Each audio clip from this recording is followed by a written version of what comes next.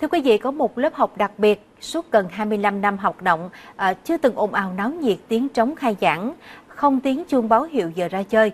Chưa một lần các em học giỏi được tuyên dương dưới cờ. Ở lớp học này chỉ có một thầy giáo, đến nay ông đã già nhưng vẫn cần mẫn kiên trì uống từng nét chữ, chỉ dạy từng phép tính cho những đứa học trò nghèo. Ông tên là Trần Đức Thảo, một giáo viên đã về hưu. Vì thấy còn nhiều con em các gia đình nghèo không có điều kiện đến trường nên ông đã mở lớp học tình thương để đem cái chữ cho các em nhỏ. Năm 1995, sau khi nghỉ hưu, thầy Trần Đức Thảo cùng vợ rời vùng quê Bình Thuận về phường 5 thành phố Vũng Tàu, tỉnh Bà Rịa Vũng Tàu sinh sống. Hàng ngày, chứng kiến nhiều trẻ em ở khu vực mình sinh sống trong độ tuổi đi học mà vẫn không được đến trường, thầy Thảo không an lòng.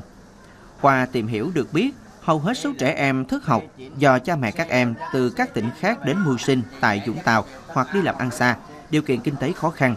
Với suy nghĩ, đời cha mẹ chúng đã thế, không lẽ chúng chẳng thể khác hơn được.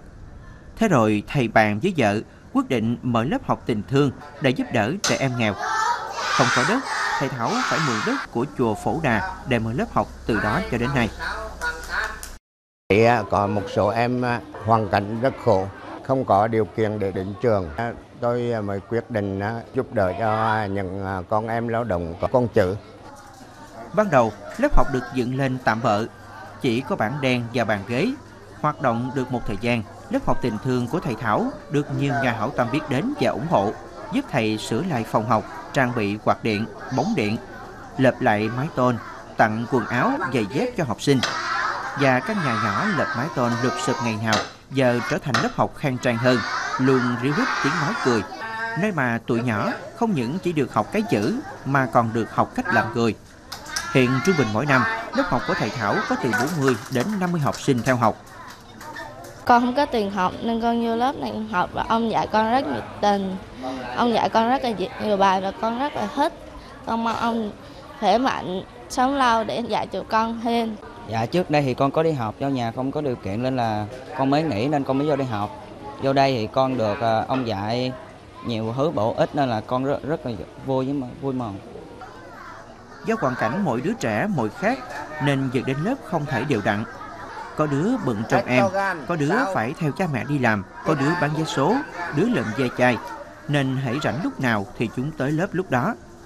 Cảm thông với hoàn cảnh của từng đứa trẻ, thầy Thảo không nỡ trách phạt mà trái lại còn thương chúng nhiều hơn.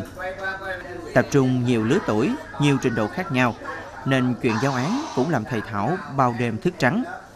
Bởi soạn giáo án cho học sinh bình thường đã khó, này lại còn khó hơn đối với những học sinh cá biệt này lại càng khó hơn.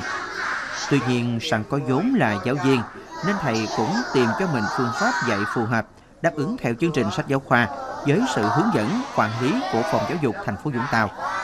Ngoài việc dạy chữ, dạy kiến thức văn hóa, thầy Thảo còn dạy cho các em hiếu thảo với ông bà cha mẹ, làm người công dân tốt, không vi phạm pháp luật. Đến nay, nhiều thế hệ học trò của thầy đã khôn lớn trưởng thành. Khi được hỏi về mong muốn của mình, thầy Thảo chỉ mong các cháu khôn lớn, thành người, có ích cho xã hội và cầu mong mình có được sức khỏe để duy trì lớp học.